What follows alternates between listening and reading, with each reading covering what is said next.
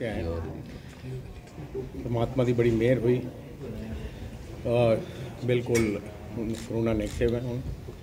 ਤੇ ਅਰਦਾਸ ਬੇਨਤੀ ਕਰਦਾ ਕਿ ਇਹ ਬਿਮਾਰੀ ਜਲਦੀ ਤੋਂ ਜਲਦੀ ਇਸ ਬਿਮਾਰੀ ਦਾ ਨਿਪਟਾਰਾ ਹੋਵੇ ਕਿ ਆਮ ਲੋਕ ਆਪਣੀ ਜ਼ਿੰਦਗੀ ਦੁਨੀਆ ਵਿੱਚ ਫਿਰ ਤੋਂ ਗੁਜ਼ਾਰ ਸਕਣ ਤੇ ਦੇਸ਼ ਤੇ ਦੁਨੀਆ ਦੀ ਇਕਨੋਮੀ ਫਿਰ ਤੋਂ ਚੱਲਣ ਲੱਗ ਜਾਣ। ਕਿਉਂਕਿ ਇਹਦਾ ਬਹੁਤ ਵੱਡਾ ਨੁਕਸਾਨ ਸਾਰੀ ਦੁਨੀਆ ਨਹੀਂ ਹੋਇਆ। ਕਈ ਜਾਨਾਂ ਗਈਆਂ।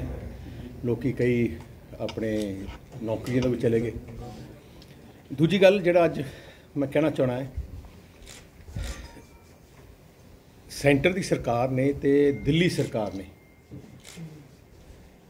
ਇੱਕ ਬਹੁਤ ਵੱਡਾ ਵਾਰ ਸਿੱਖ ਕੌਮ ਤੇ ਕੀਤਾ। ਦਿੱਲੀ ਗੁਰਦੁਆਰਾ ਪ੍ਰਬੰਧਕ ਕਮੇਟੀ ਤੇ ਉੱਤੇ ਕਾਬਜ ਹੋਣ ਵਾਸਤੇ ਉਹਨਾਂ ਨੇ ਇੱਕ ਵਾਰ ਕੀਤਾ ਕਿ ਸ਼੍ਰੋਮਣੀ ਅਕਾਲੀ ਦਲ ਪਾਰਟੀ ਨੂੰ ਡੀ ਰੈਕਗਨਾਈਜ਼ ਕਰਤਾ। ਆ ਤਾਂ ਪ੍ਰਮਾਤਮਾ ਦੀ ਮਿਹਰ ਹੋਈ ਤੇ ਹਾਈ ਕੋਰਟ ਤੋਂ ਆਪਾਂ ਨੂੰ ਸਟੇ ਮਿਲ ਗਿਆ। ਇਹਨਾਂ ਦਾ ਨਿਸ਼ਾਨਾ ਸੀ ਕਿ ਜਿਹੜੀ ਪਾਰਟੀ 100 ਸਾਲ ਪੁਰਾਣੀ ਪਾਰਟੀ, ਜਿਹੜੀ ਲਗਾਤਾਰ ਸਿੱਖ ਸੰਗਤ ਦੀ ਨੁਮਾਇੰਦਗਾ ਨੁਮਾਇੰਦਗੀ ਕਰਦੀ ਪਾਰਟੀ ਨੂੰ ਜਾਣ ਕੇ ਡੀਲਿਸ਼ ਕੀਤਾ ਜਾਏ। ਆ ਸਾਜ਼ਿਸ਼ ਹੈ ਆਈ ਸਾਜ਼ਿਸ਼, ਆ ਜਿਹੜੇ ਮਹੰਤ ਸੀ ਪਹਿਲੇ, ਉਹਨਾਂ ਤੋਂ ਛੁਟਕਾਰਾ ਕਰਾਇਆ ਸੀ। ਹੁਣ ਇੱਥੇ ਆਮ ਆਦਮੀ ਪਾਰਟੀ ਸਰਨੇ ਤੇ ਮਨਜੀਤ ਜੀ ਕੇ ਨੇ। ਅੱਗੇ ਲਾ ਕੇ ਸੈਂਟਰ ਦੀ ਜਿਹੜੀ ਸਰਕਾਰਾਂ ਤੇ ਦਿੱਲੀ ਸਰਕਾਰ। ਨਿਸ਼ਾਨਾ ਇੱਕੋ ਇੱਕ ਕਿ ਕਿਸੇ ਹਾਲ 'ਚ ਨਹੀਂ, ਪਰ ਮੈਂ ਕਹਿੰਦਾ ਪਰਮਾਤਮਾ ਦੀ ਇੰਨੀ ਬਖਸ਼ਿਸ਼ ਹੈ ਪਾਰਟੀ ਤੇ, ਕਿਉਂਕਿ ਸਾਰੀਆਂ ਕੋਸ਼ਿਸ਼ਾਂ ਫੇਲ ਹੋ ਗਈਆਂ ਜੇ ਉਹ ਇੰਨੇ ਆਪਣੇ ਆਪ ਨੂੰ ਪਪੂਲਰ ਸਮਝਦੇ ਆ ਫਿਰ ਇਲੈਕਸ਼ਨ ਲੜੋ, ਜਨਤਾ ਵਿੱਚ ਜਾਓ।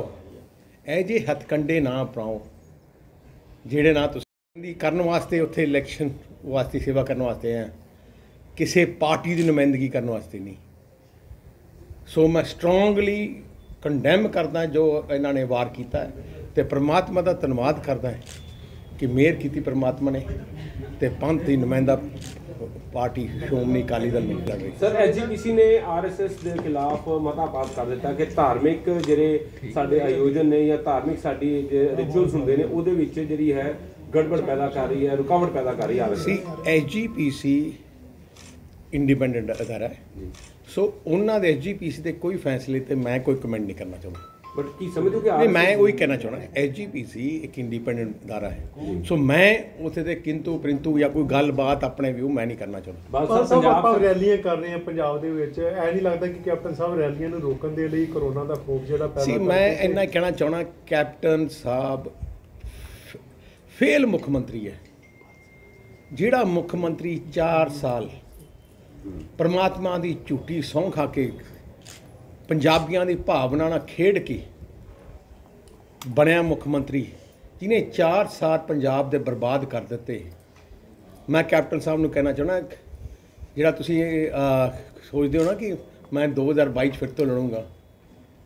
ਜ- ਲੜਨਾ ਹਰ ਬੰਦੇ ਦਾ ਹੱਕ ਹੈ, ਪਰ ਐਕਤੀ ਕਾਂਗਰਸ ਦੀ ਜ਼ਮਾਨਤ ਜ਼ਬਤ ਹੋਊਗੀ ਜੋ ਮਰਜ਼ੀ ਲਿਆਓ, ਜਿੰਨੇ ਮਰਜ਼ੀ ਕਿਸ਼ੋਰ ਜਾਂ ਕਿਸੇ ਮਰਜ਼ੀ ਲਿਆਓ, ਹੁਣ ਤੁਹਾਡੇ ਝੂਠ ਨਹੀਂ ਚੱਲਣਗੇ। ਅਕਾਲੀ ਭਾਜਪਾ ਦਾ ਗੱਠਜੋੜ ਹੁੰਦਾ ਸੀ ਭਾਜਪਾ ਵੱਖ ਹੋ ਚੁੱਕੀ ਹੈ ਕਿੰਨਾ ਕੁ ਫ਼ਰਕ ਪਏਗਾ ਸੀ ਕੋਈ ਫ਼ਰਕ ਨਹੀਂ ਪੜੇਗਾ ਠੀਕ ਹੈ ਜੀ। ਸ਼੍ਰੋਮਣੀ ਅਕਾਲੀ ਦਲ ਸ- ਜਿੱਥੇ ਭਾਜਪਾ ਦੀਆਂ ਸੀਟਾਂ ਤੇ- ਨਹੀਂ ਲੜਦਾ ਸੀ ਹੁਣ ਉੱਥੇ ਆਪਣੇ ਕੈਂਡੀਡੇਟ ਸਾਡੇ ਸਾਰੇ ਤਿਆਰ ਹੋ ਗਏ। ਬੜੇ ਸਟਰੋਂਗਲੀ ਤਿਆਰ ਹੋਏ। ਪਰ ਉਹ ਤੇ ਕਹਿੰਦੇ ਅਸੀਂ 117 ਸੀਟਾਂ ਤੇ ਚੋਣਾਂ ਲੜਾਂਗੇ ਕੌਣ? ਭਾਜਪਾ ਵੱਲ। ਉਹਨਾਂ ਦੀ ਮਰਜ਼ੀ ਹੈ ਹਰ ਬੰਦੇ ਦਾ ਹੱਕ ਹੈ ਹਰ ਪਾਰਟੀ ਦਾ ਹੱਕ ਹੈ ਪਰ ਸ਼੍ਰੋਮਣੀ ਅਕਾਲੀ ਦਲ ਤੁਸੀਂ ਦੇਖੋਗੇ ਉਹਨਾਂ ਸਾਰੀਆਂ ਸਟੇਟਾਂ ਤੇ ਬਹੁਤ ਸਟਰੋਂਗਲੀ ਲੜੂਗਾ ਵੀ ਤੇ ਜਿੱਤੂਗਾ ਵੀ। ਸਾਹਿਬ ਅੱਜ ਇੱਕ ਬਹੁਤ ਵੱਡੀ ਸੁਗਾਤ ਦਿੱਤੀ ਹੈ।